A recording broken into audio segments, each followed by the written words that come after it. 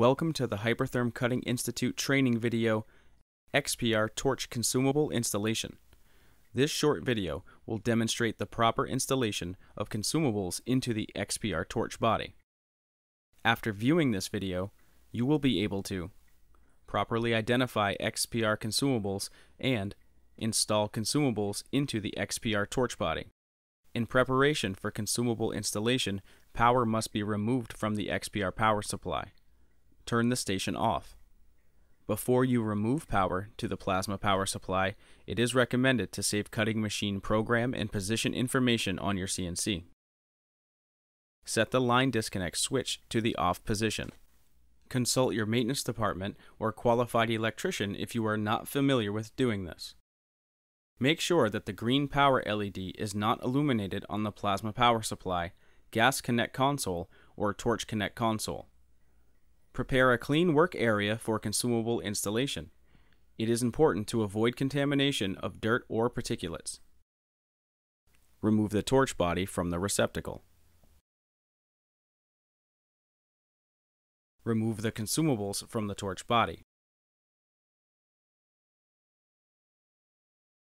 Select the cutting process using the cut chart instruction manual found on the USB memory stick included with the system or by downloading from hypertherm.com. The consumables and part numbers will be listed on the cut chart. The XPR cutting system uses the same consumable parts for all standard position 90 degree angle and bevel cutting processes, eliminating the need to inventory two different sets of consumables, standard and bevel. The shield cap, nozzle retaining cap, and water tube are the same for all processes. Each consumable is laser marked with the part number, allowing you to match the cut chart to the consumable to prevent stack up errors. Part numbers are also listed on the consumable packaging. Prepare the torch body for consumable installation. Use a clean paper towel or lint-free cloth to wipe the internal and external surfaces of the torch. Apply a thin film of silicone lubricant to the outer O-rings of the torch body. Do not use petroleum-based lubricants.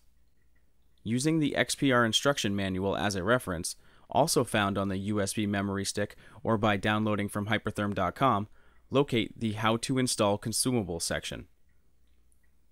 The first consumable installed is the water tube. Insert the water tube O-ring side first. Push it in to seat the O-ring. Lubricate the electrode O-ring.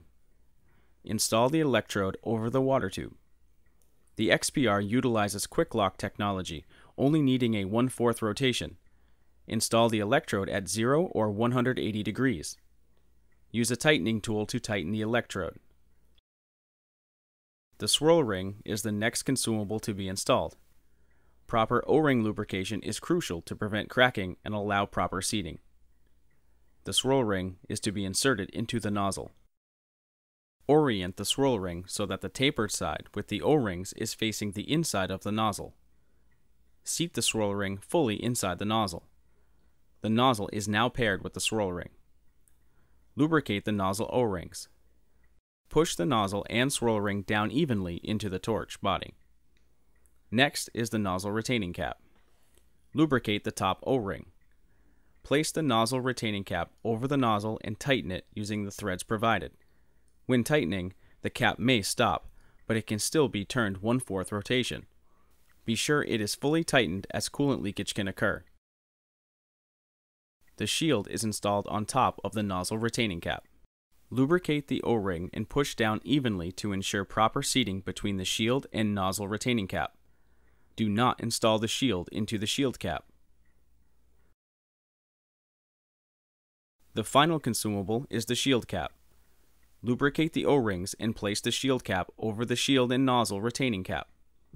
Tighten the shield cap fully. Note, the XPR shield cap will not seat completely as HPR XD systems. A small gap will be visible. This is normal. Now that the XPR torch body has the consumable stack installed, connect the torch body to the torch receptacle. Power on the XPR system and follow appropriate procedures to execute the cutting process. Thank you for watching this video. For more XPR videos and more, please log on to the Hypertherm Cutting Institute.